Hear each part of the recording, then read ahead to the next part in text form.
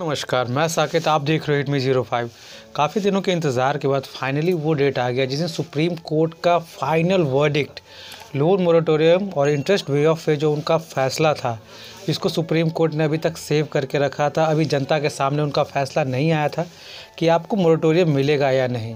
आपके इंटरेस्ट को माफ़ किया जाएगा कि नहीं, आगे आपको मोरेटोरियम कितने दिनों के लिए दिया जाएगा? जो भी इंटरेस्ट माफ़ किया गया है, वो कितनों दिनों के लिए और माफ़ किया जाएगा? क्या आपके लोन अकाउंट को अभी एन में डाला जाएगा या नहीं डाला जाएगा? इस पर सारा फैसला जो आने वाला है, उसका डेट सामने आ गया तो फाइनली सुप्रीम कोर्ट ने ये बताया कि अगले शुक्रवार को जितने भी केसेस थे, करीब 22 केसेस थे उन पे फैसला 22 जो 22 केसेस थे उन पे फैसला अगले शुक्रवार को आपके सामने आ जाएगा। क्योंकि पब्लिक बहुत दिनों से वेट कर रहे थे कि सुप्रीम कोर्ट कब अपना फैसला देगा। इनका वेट करने का मेन कारण ये था कि जो रिकवरी एजेंट है, वो काफ़ी ज़्यादा अपने कस्टमर को परेशान कर रहे हैं। और बैंक और एनबीएफसी कंपनी आपके लोन अकाउंट को डीग्रेड करने के लिए एकदम परेशान है, क्योंकि बैंक और एनबीएफसी कंपनी जो सुप्रीम कोर्ट का एंट्री मोडर है, उसको बंद करने के लिए हर सक प्रयास कर रही है। क्योंकि बैंकों और एनबीएफसी का कहना है कि जब तक सुप्रीम कोर्ट का एंट्री मॉडल चल रहा है, क्योंकि सुप्रीम कोर्ट ने अभी किसी भी लोन अकाउंट को डी ग्रेड या एनपीए में डालने की अनुमति नहीं दी है।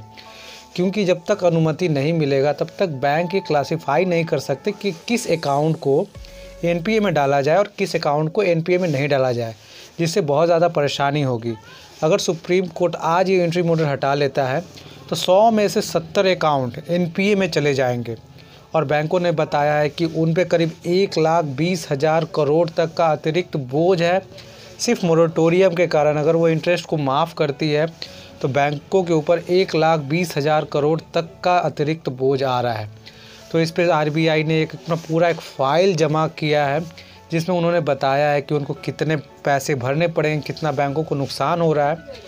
इन सभी के पिटिशन डालने के बाद सुप्रीम कोर्ट ने फाइनली अपना फैसला अगले शुक्रवार तक के लिए टाल दिया है। सुप्रीम कोर्ट ने क्लियर बताया है कि अगले शुक्रवार को मोरेटोरियम एक्सटेंशन पे उन्होंने सारे पक्षों की बात सुनी और सुप्रीम कोर्ट ने क्लियर बताया कि अगले शुक्रवार तक जो लोग इतने दिनों तक इंतज़ार कर रहे थे, वो एक सप्ताह और इंतज़ार करें।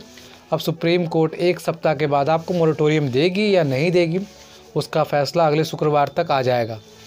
और एक बात और कि अभी तक सुप्रीम कोर्ट ने अपने इंट्री मोडर को नहीं हटाया है।